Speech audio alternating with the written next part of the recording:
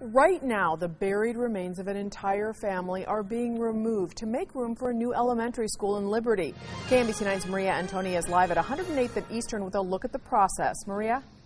Kelly, work on the new Kelly Brook Elementary School is going on on that site. Right now we are standing on the Bush family burial site. Want to show you because from right over at that spot where you see the mound of dirt, they removed what remains of a young child today. Then on this other side, you're going to see where a man is working. Later today, they also removed the body, or the remains, we should say, of a young adolescent. And then this afternoon, even as we speak right now, they've been working over here on the remains of an adult. Now, all this is going on while members of the Bush family observe, and this is all okay with them.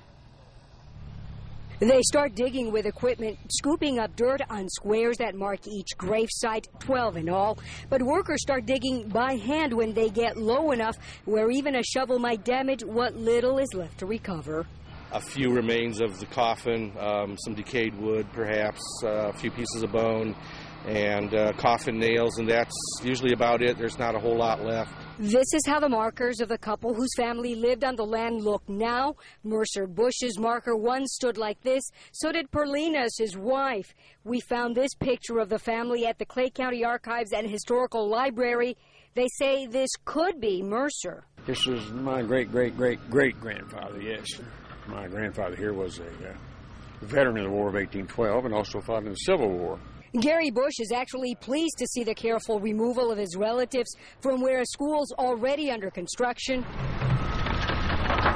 At one time, the site was to become a landfill. We didn't want the land to be tore up with another landfill or uh, anything like that. This is much, much better. This is the entire Bush family back in the 1800s.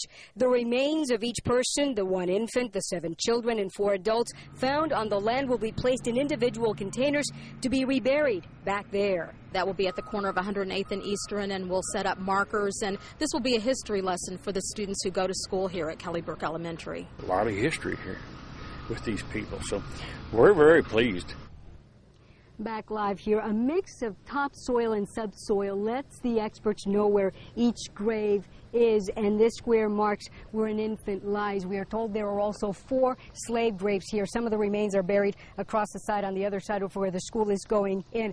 All of the remains should be moved by Friday, we are told. And by the way, this Bush family, we are also told, is not related to the Bush that has been in the White House. We are in Liberty. Back to you in the studio. Sounds like a history lesson. Thank you, Maria. Now, the Liberty School District tells us it did not know the graves were there when the developer donated the land. It was no longer Bush family property. Now, the new school will look like this, and it should be ready by next August.